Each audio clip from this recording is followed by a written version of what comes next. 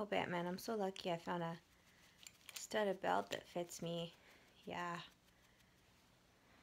Really found some good shopping deals yesterday. For real. I awoke. Right? Okay, Batty, aren't you supposed to come give me the 11? You're, yeah, that's, oh, no. Okay, guess we better.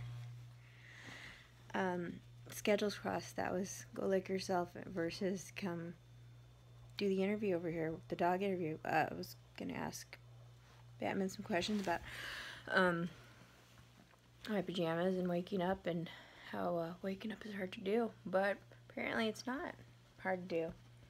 And uh, he doesn't have an achy breaky heart this morning, so cheerio and good morning to y'all. Have a good day. Stay cool. And stay lame.